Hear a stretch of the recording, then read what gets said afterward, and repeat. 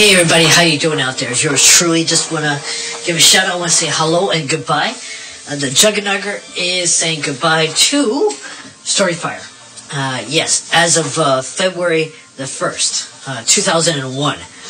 2001. Yes, I heard it from him today. And yeah, he is closing shop for Storyfire app. Yeah, Storyfire app no longer. And it's a bit of uh, business venture. I heard about it today on one of his videos. Him and Brian uh, made a, a business venture on a Storyfire, and they have to close shop. I'm not saying it. The said it.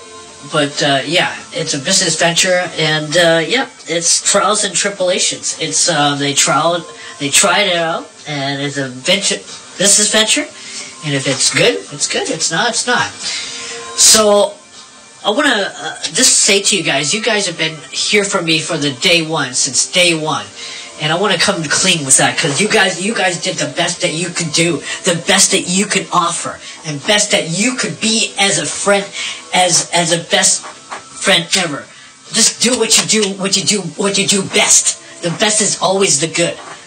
Best will come out very fine and very stylish. Um, I want to give a shout out to everybody out there. I'm just watching fashion television right now, and it's the best of both worlds, and it is really best of the both worlds. And here we go.